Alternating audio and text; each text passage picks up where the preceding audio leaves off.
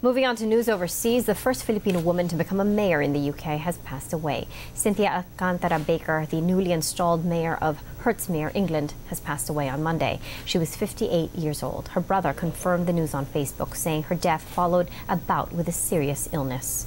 Barker served as the town councillor for Elstree and Borehamwood and borough councillor for Potters Bar from 2015 to 2019. She was then re-elected to Hertsmere to represent the Borehamwood Kenilworth ward. Barker was the daughter of an overseas Filipino worker, and her family hails from the province of Laguna.